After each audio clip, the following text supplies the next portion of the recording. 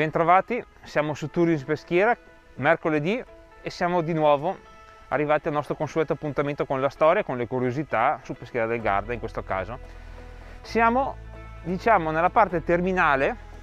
del canale della Fossetta, uno dei quattro canali che circondano queste che sono le mura storiche patrimonio UNESCO di Peschiera del Garda. Questo è un canale che fu scavato artificialmente secoli fa, chiaramente per creare una zona di protezione e limitazione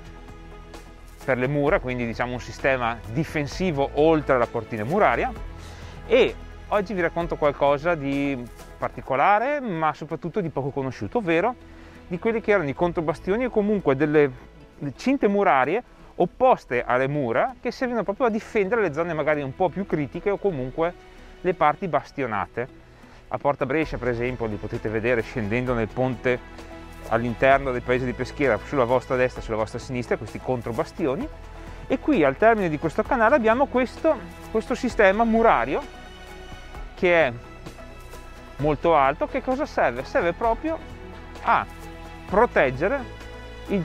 saliente del bastione Cantarane. Questo è il bastione Cantarane. Quindi abbiamo la cortina del bastione l'angolo bastionato che sale a prua come fosse una prua di una nave lo vedremo tra un attimo questo sistema murario che in un certo senso lo andava a difendere, comunque a proteggere. Infatti, vedendo come, come si sviluppa questa struttura muraria, vedremo che appena avanti a me pochi passi comincerà a ruotare verso l'acqua e interrotto perché chiaramente con i lavori di ristrutturazione o comunque di modifica degli accessi a peschiera e le strutture diciamo difensive sono molto cambiate anche perché nei tempi recenti hanno anche perso la loro importanza difensiva, quindi questo sistema murario fu completamente scavato e distrutto per lasciare spazio a un accesso lungo il canale. Però la testimonianza, come vedete in queste foto, è molto chiara, ovvero sul fondo di questo canale c'è il, diciamo, il basamento che continua in questo momento sommerso sotto acqua e vi fa capire come questo sistema murario che state vedendo in questo momento alla vostra destra era collegato e si proiettava in acqua a chiusura quasi di questo ingresso bastinato, ovvero di questo saliente del bastione Cantarane. Quindi la fortezza era a sua volta racchiusa da dei controbastioni che servivano proprio a protezione della fortezza stessa e poi addirittura nel periodo risorgimentale sia con l'arrivo delle truppe francesi sia con le truppe dell'esercito asburgico vennero costruiti dei forti a corona intorno a questa fortezza ad ulteriore protezione, quindi potete capire che erano come vari sistemi uno sopra l'altro di protezione. E questo sicuramente era un sistema di protezione di questa cortina muraria che è completamente andato distrutto, abbiamo soltanto questo residuo diciamo che sembra un muro di contenimento ma aveva comunque una sua funzione. E quindi come tunnel peschiera ci sembrava carino ricordarlo ma anche perché perché da questo punto in cui siamo adesso passa una delle ciclabili più frequentate d'Europa, che è l'Eurovelo 7 che congiunge Peschiera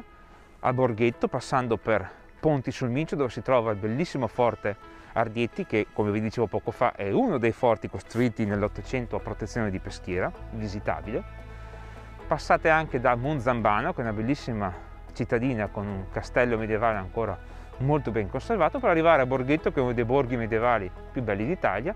e continuare poi lungo il fiume Mincio che proprio comincia alle mie spalle fino alla città di Mantova, patrimonio UNESCO bellissima, assolutamente da visitare. Quindi capite che il passaggio a Peschiera sia che voi siate in bicicletta o a piedi, beh, passare lungo le mura, sopra le mura, alla base delle mura o all'interno della città, beh, si cammina sulla storia, si cammina su una stratificazione culturale e di eventi e di diciamo, sedimi storici incredibile.